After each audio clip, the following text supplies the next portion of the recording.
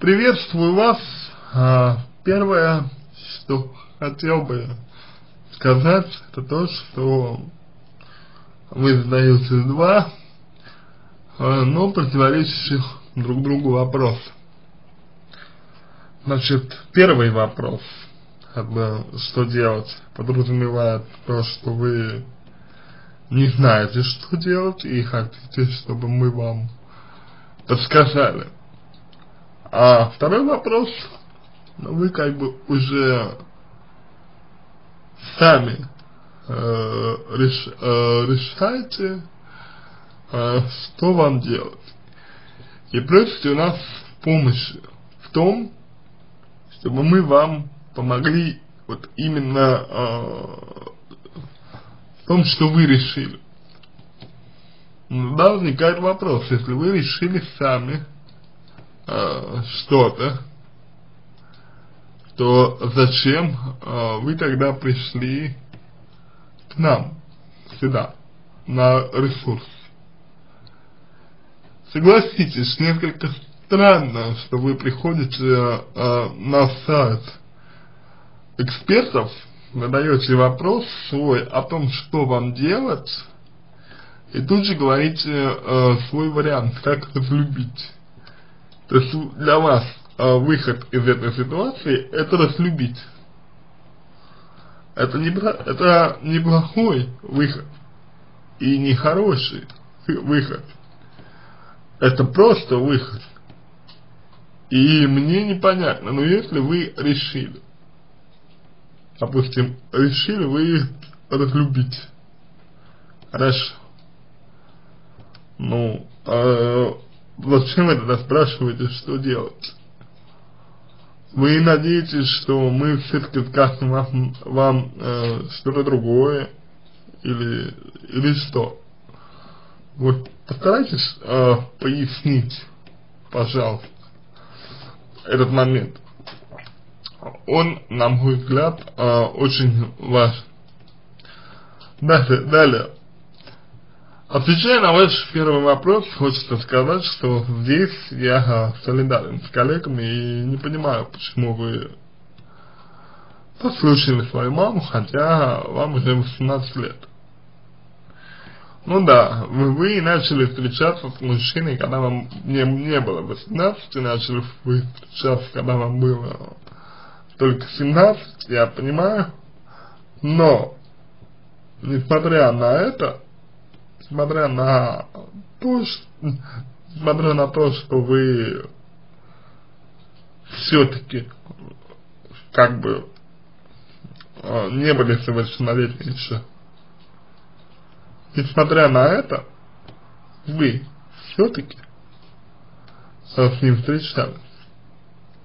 И встречались вы с ним довольно долго. То есть э, решение у вас было какое-то. И потом, когда вам уже было около 17, вы приняли расста решение расстаться из-за мамы. Но вот проблема заключается в том, что пока вы будете э, слушать свою маму, пока вы будете э, прислушиваться к ней, к своей маме,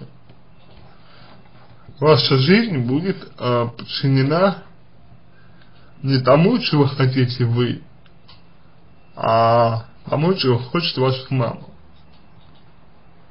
Вот и все. То есть вы сами для себя постарайтесь определить, чего же вы хотите все-таки, чего же вам нужно все-таки что вы сами для себя желаете. Вот постарайтесь ответить на этот вопрос. Постарайтесь э, как-то спросить себя, вы будете делать как хочет ваша мама, у которой свой взгляд на ситуацию, э, у которой свои ценности, свои идеалы и так далее, которые не являются сколько-нибудь неправильными, но которые элементарно могут вам не подходить просто. или вы действуете по своей э, собственной э, схеме. То есть вот этот момент, а, он нуждается в определении. Этот момент нуждается в том, чтобы вы его сами для себя э, решили. Когда решите, тогда и будет понятно, что вам делать. Теперь, э, если вы выбираете вариант разлюбить человека, то разлюбить человека так просто у вас не получится. Дело в том, что мало того, что у вас любовь взаимная, что довольно-таки осложняет э, задачу, нужно понимать еще и другое, что не только в любви дело, дело еще и в том, э, что незаконченное действие, интенция у вас есть. А если есть интенция, то не так просто вам будет забыть человека. Не так просто вам будет э, выбросить его из, из э, своей головы. Это нужно тоже четко понимать.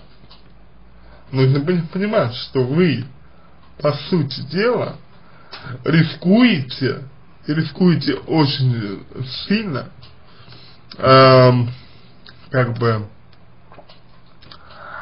остаться вот в таком вот э, подвешенном состоянии.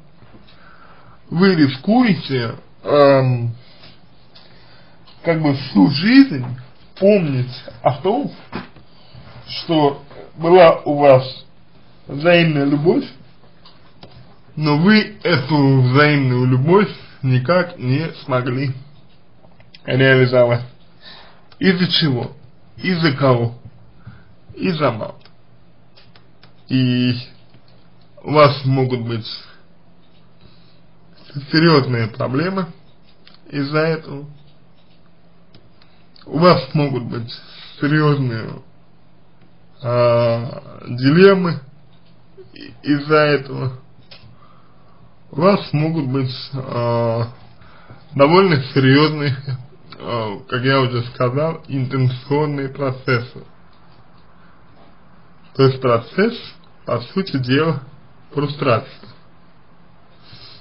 И если вы хотите действительно разлюбить э, ну, человека, если вы действительно хотите разлюбить мужчину, да, вам необходимо э, переключиться на другие вещи, вам необходимо переключиться на что-то вообще другое кардинально.